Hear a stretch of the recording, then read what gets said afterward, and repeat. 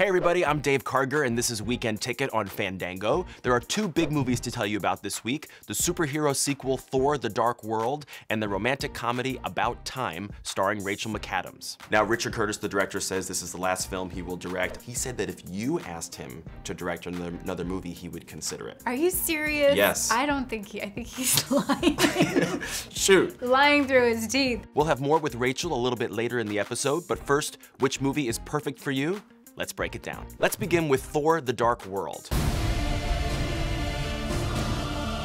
Thor, your bravery will not ease your pain. I'll find a way to save us all. Now this of course is the latest installment in the Avengers series. It's a more serious and mythology-driven film than Iron Man 3, but it has several fun surprises that Marvel fans will love. And here's a tip, make sure you stay to the end of the credits because there are two bonus scenes after the movie ends. Also opening this week is About Time. For me, it was always going to be all about love. I'm Tim. I'm Mary. It's my mother's name? I remind you of your mother? Obviously, I should have thought this through more. Could you give me one second? This is a lovely movie about a young British man who discovers he can travel in time, a skill he uses to make his American crush fall in love with him. It's a truly inspiring movie that co-stars Rachel McAdams and is written and directed by Richard Curtis, who's best known for Love Actually. This is one of the best date movies of the year. I had the pleasure of chatting with Rachel McAdams about the film.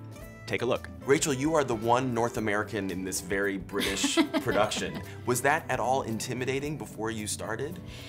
Uh, I suppose a little bit, yeah. I, yeah, at least it was pointed out that I was that in the film and not just doing a really bad British accent or something. I was really looking forward to it, to be honest. You know, I think Richard does, you know, these com romantic comedies better than anyone, so um, I couldn't wait to kind of get in there and work with that ensemble. Yeah.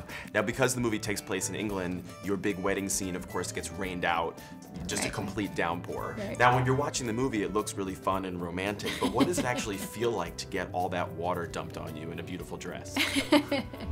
It was, I, I had a great time. It was actually, I was dreading it because I thought the same thing. I thought it's gonna be cold, it's gonna be rainy British weather, and it was actually beautiful to the point where it was a problem. Everyone was hot and were, they were like, when's the rain coming? Bring it on. So it was great and getting blown around by those fans. I mean, you didn't have to do anything for comedy. It was already there, like it just happened so naturally. So it was really fun and nobody seemed to really mind. so that's what's up with the movies. I'm Dave Karger. See you next week. So what's your weekend ticket going to be? Buy your tickets on Fandango.